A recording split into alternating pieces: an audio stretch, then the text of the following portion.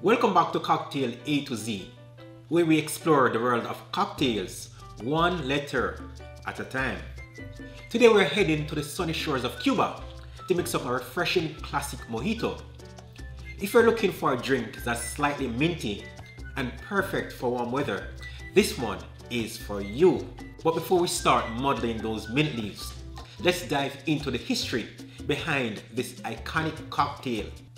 The mojito roots can be traced back to 16th century Cuba, where it began as a drink known as El Draque, named after the English sea captain Sir Francis Drake. El Draque was a mix of aguardiente, a precursor to rum of a sort, sugar, lime, and mint, believed to ward off illness during long sea voyages. As rum production improved in Cuba, aguardiente was replaced with rum, and the drink evolved in what we now know as the mojito. By the 20th century, the mojito had become a beloved cocktail, enjoyed by everyone from locals to literary legends like Ernest Hemingway. The mojito is a simple yet refreshing cocktail that requires just fresh ingredients.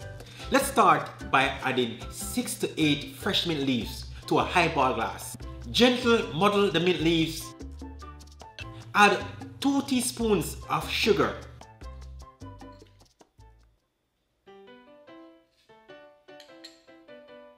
Now we'll squeeze 1 ounce of fresh lime juice.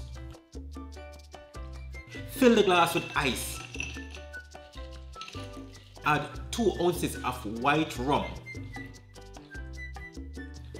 Top off the mojito with soda water. This adds a nice fizzy texture that makes the drinks more refreshing. Garnish your mojito with a sprig of fresh mint and a lime wheel. Mojito is a perfect balance of mint, lime and rum, making it an ideal choice for a hot day. If you enjoy this recipe, be sure to hit that like button and subscribe for more cocktail tips and tricks. And if you've got your own twist on a mojito, I'd love to hear about it in the comment section. Don't forget to visit my blog page for more recipes, tips, and stories from the world of mixology. The link is in the description below. Cheers and happy mixing!